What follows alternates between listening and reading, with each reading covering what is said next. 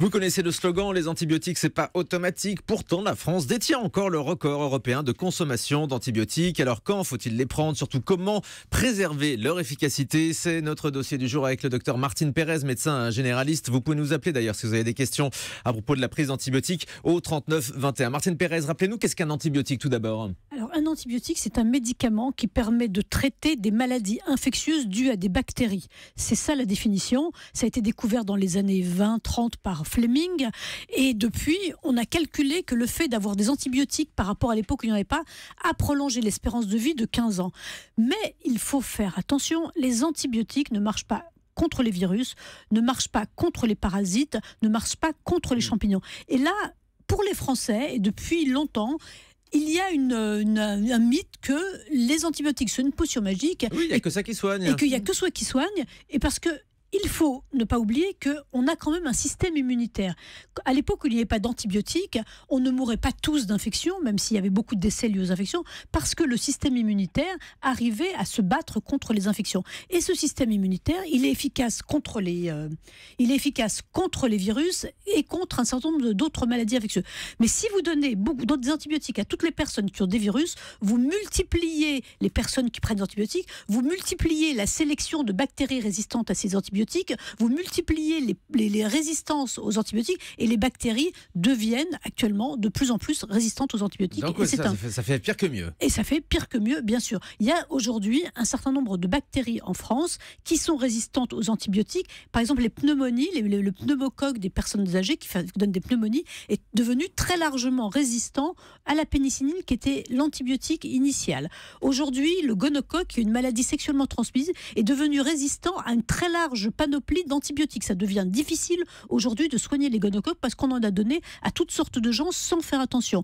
Les staphylocoques dorés dans les hôpitaux pour les gens qui ont été opérés mhm. deviennent résistants, ce qu'on appelle à la méthylcilline, enfin à d'autres antibiotiques. Donc il, y a, il faut vraiment un usage modéré des antibiotiques. Rassure-nous, il y a d'autres moyens de les soigner quand même, mais, bien, oui, mais c'est vrai, on sait aujourd'hui que cette résistance aux antibiotiques, elle augmente la durée des infections, elle, et elle augmente le, fait qu'elle soit plus pénible, et elle augmente aussi un petit peu le risque de décès. Donc vous voyez, il faut vraiment mmh. utiliser les antibiotiques à bon escient, ne pas les utiliser n'importe comment. Mais donc ils sont efficaces dans quel cas alors? Eh bien, par exemple, si vous avez une infection urinaire, en général, on sait que c'est toujours bactérien. Les médecins continuent à prescrire euh, des, euh, des antibiotiques dans les infections urinaires, à condition qu'on soit sûr qu'il s'agisse d'une infection urinaire. On les donne aussi dans les pneumonies, on les donne. Les maux de gorge. Alors justement, parlons-en des maux de gorge. Aujourd'hui, on sait que 80% des maux de gorge, des, angines, sont d'origine virale et 20% d'origine bactérienne, qui sont dus à ce fameux streptocoque. Aujourd'hui, les pouvoirs publics recommandent, avant de soigner une angine, de faire un prélèvement chez le cabinet du médecin mhm. ou dans un laboratoire pour distinguer. Avec un long coton-tige, là, c'est ça, comme au fond de la gorge? au, fond de la gorge.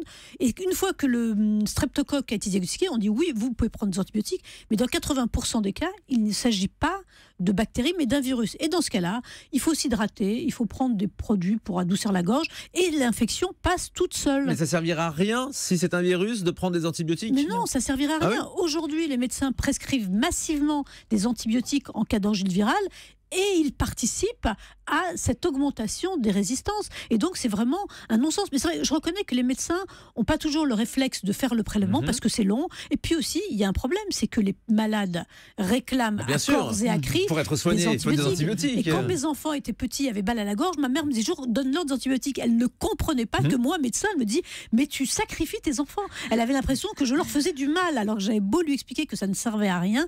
Et en plus, en donnant des antibiotiques en cas d'infection virale, vous perturbez un certain nombre de fonctions. Et on a démontré, enfin, il y a pour certains médecins, que le fait de donner trop d'antibiotiques aux enfants en bas âge augmente le risque d'asthme et de maladies auto-immunes plus rares. c'est compliqué. Elisabeth Assayag. alors justement, euh, très souvent avec les enfants en bas âge, on nous dit euh, pour l'instant, euh, vous donnez juste du paracétamol et ça va passer, mais je vous prescris quand même une ordonnance avec des antibiotiques et si d'ici quelques jours ça persiste, oui vous passez aux antibiotiques. Exactement. Donc finalement, c'est nous qui, qui, choisissons.